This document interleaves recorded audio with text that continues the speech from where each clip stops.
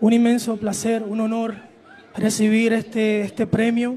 Quiero agradecer a Croarte, eh, Cervecería Nacional, a todos los medios de comunicación, eh, a, todos mis fanati a toda mi fanaticada aquí en República Dominicana eh, y también a Sumaya.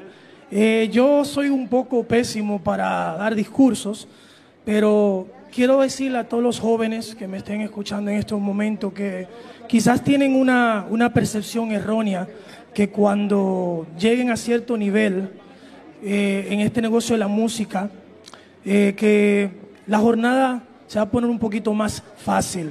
Yo llevo más de 25 años de trayectoria y siempre hay altas y bajas, pero lo importante es mantenerse firme y entender que lo más importante para cualquier ser humano es mantener su autenticidad y siempre recordar que si eso fue lo que te llevó al éxito, no cambies.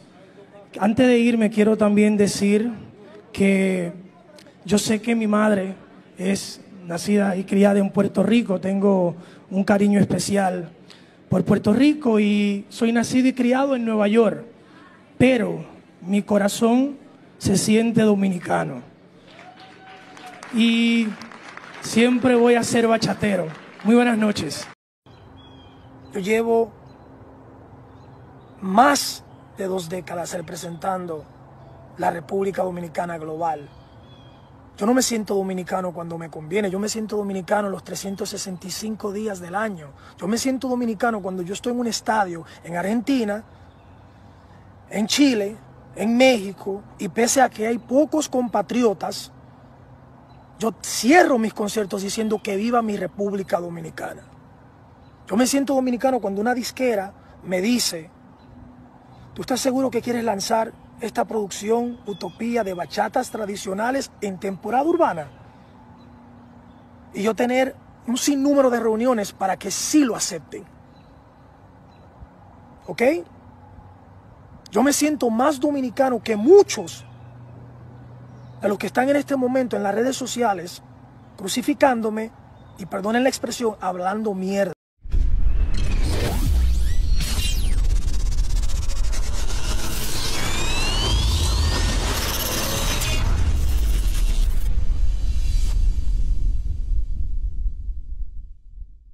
Saludos. Mire, hay un lío de apaga y vamos, un lío fuerte en República Dominicana con Romeo Santos, el rey de la bachata. Es un, un problema muy delicado, muy delicado, muy sensible. Y le voy a decir por qué. Eh, lo primero, ¿qué fue lo que pasó? Lo voy a poner en contexto. Pero antes quiero decirle que cuando yo escuché que le dieron el soberano, el gran soberano a Romeo Santos, yo fui el primero que lo critiqué. ¿Y por qué lo critiqué? No porque Romeo Santos no se lo mereciera, sino lo que yo decía en mi video pasado, que ustedes lo pueden buscar, lo que yo decía era sencillamente que Romeo podía esperar, que Romeo era una persona joven, que Romeo tiene toda una vida por delante. Ojalá y sea así, que Dios lo quiera así.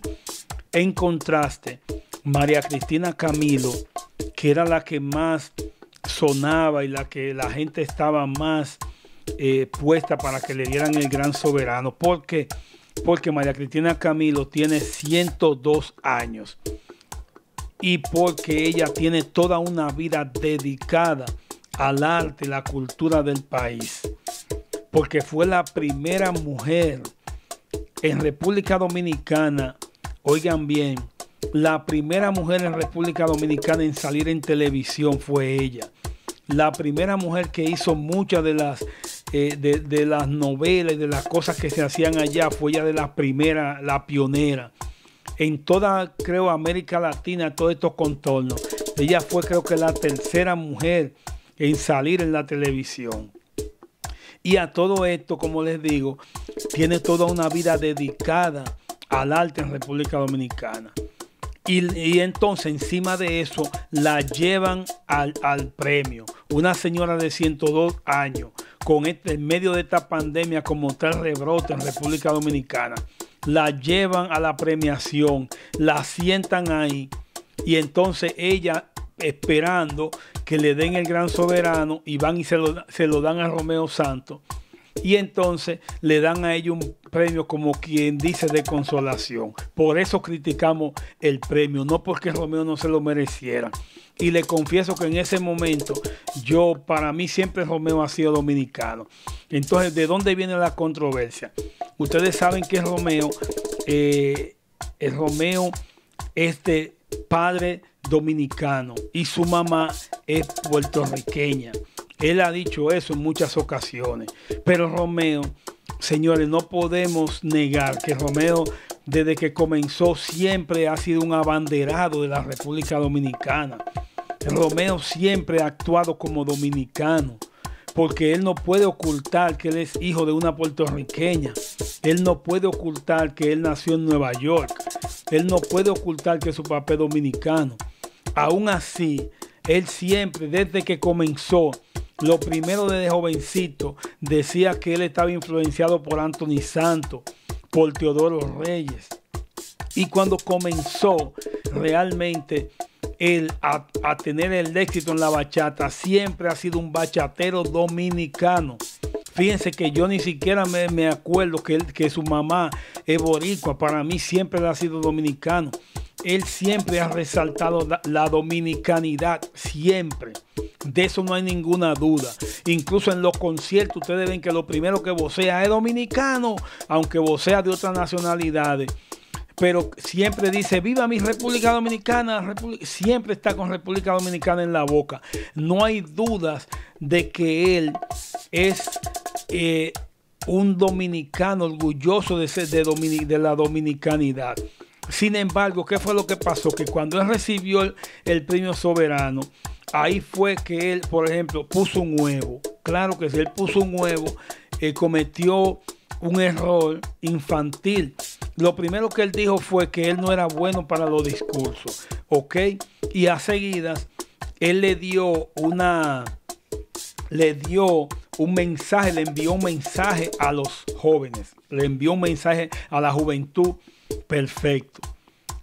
Pero antes de, para terminar, entonces él dice, yo quiero terminar, antes de irme, quiero decir que mi mamá, yo sé que mi mamá mi, e, es puertorriqueña, eh, eh, nacida y criada en Puerto Rico, y yo soy nacido y criado en Nueva York. Entonces él dice, pero mi corazón, eh, yo tengo un cariño especial por Puerto Rico, pero mi corazón se siente dominicano.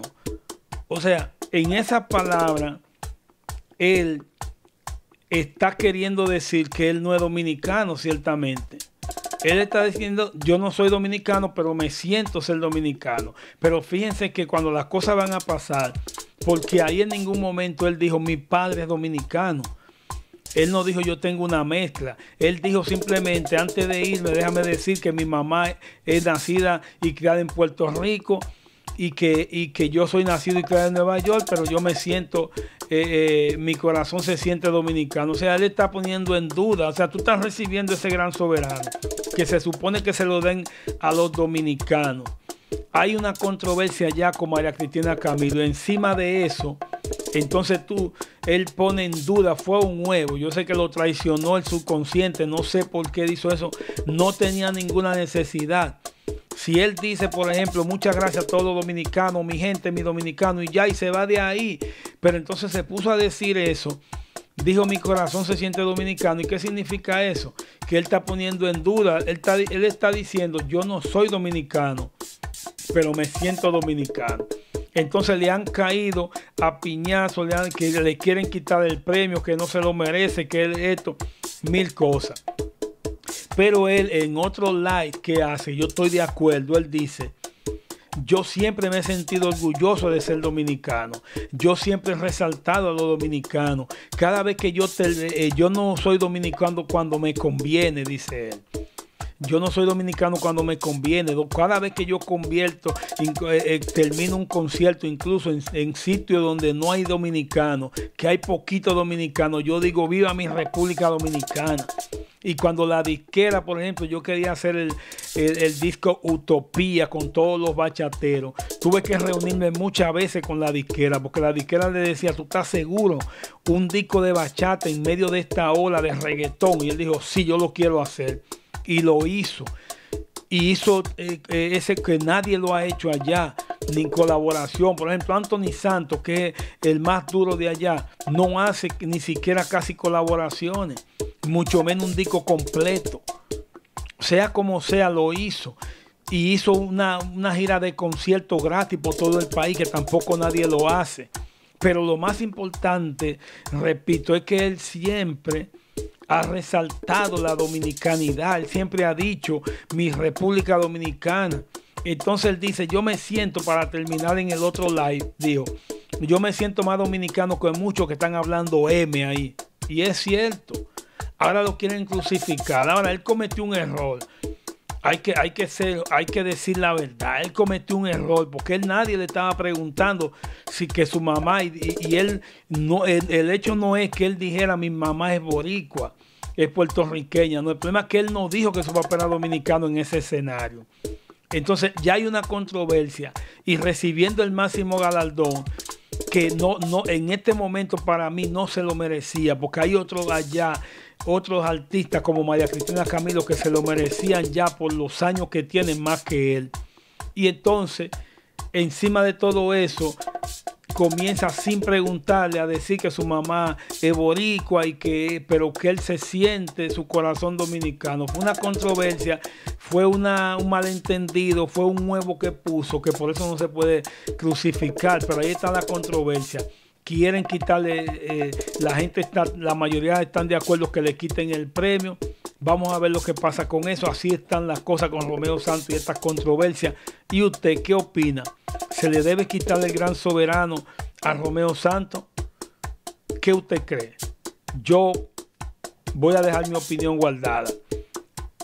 Pero usted qué opina? Gracias por estar ahí. Un saludo para todos. Esto es duro y directo.